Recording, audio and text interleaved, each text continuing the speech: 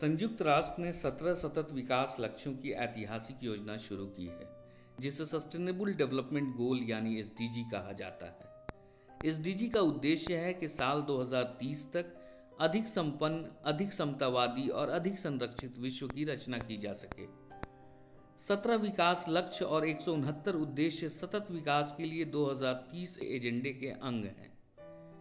इस एजेंडे को सितंबर 2015 में संयुक्त राष्ट्र सभा की शिखर बैठक में एक सदस्य देशों ने अनुमोदित किया था। यह एजेंडा पूरे विश्व के साथ साथ भारत में 1 जनवरी 2016 से प्रभावी हुआ है। इन लक्ष्यों के निर्धारण में यूएन ने विभिन्न राष्ट्रीय सरकारों और दुनिया भर के लाखों लोगों से विचार लिए।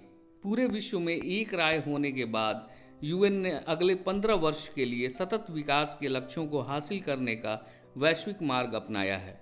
सतत विकास लक्ष्य और उद्देश्य महत्वपूर्ण क्षेत्रों में कार्रवाई प्रेरित करेंगे।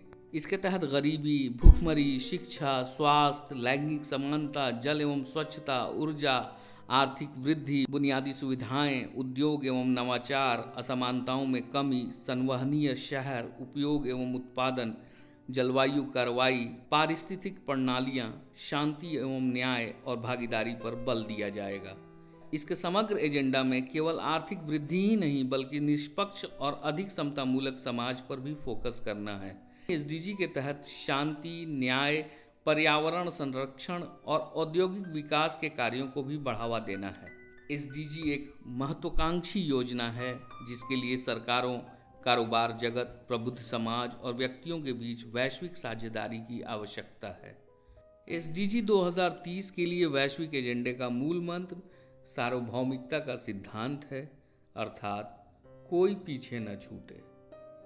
एस का मत है कि विकास समावेशी होना चाहिए और हाशिए पर जीते लोगों की भागीदारी होनी चाहिए। भारत सरकार सतत विकास लक्ष्य सहित 2030 के एजेंडा के प्रति दृढ़ता से समर्पित है। भारत का राष्ट्रीय विकास लक्ष्य सबका साथ, सबका विकास पर नीतिगत पहल एसडीजी के अनुरूप है।